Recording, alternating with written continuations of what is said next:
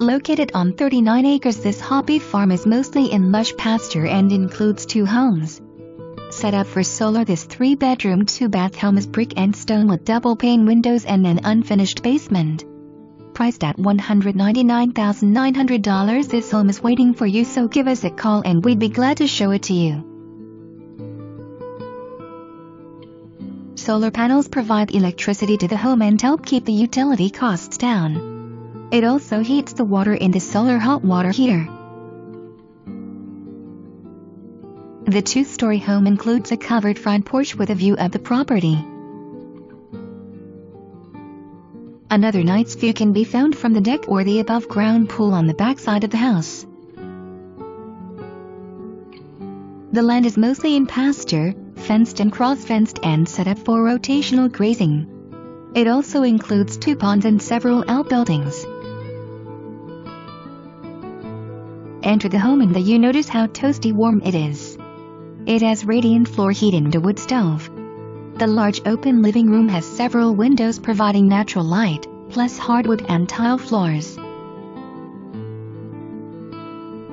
The wood stove can also be used as a cook stove. On the left you see the stairs leading to the second floor where you'll find two bedroom and a bath plus the loft area. The large country kitchen includes beautiful walnut cabinets with hickory stain and lots of space. Overhead is a ceiling fan helping to keep it cool. The floor is tile. The appliances include an electric range, exhaust fan, dishwasher and refrigerator and freezer. A beautiful light fixture and large window providing light can be found here in the dining area. The floor is hardwood and the door leads to the deck on the back of the house. The loft area at the top of the stairs can be whatever you desire it to be. It could be an office area, play area for the kids or an area perfect for sitting and listening to some music or reading a good book. This is one of the three bedrooms in the house. Two are upstairs and one is on the main floor. They all have hardwood floors and ceiling fans.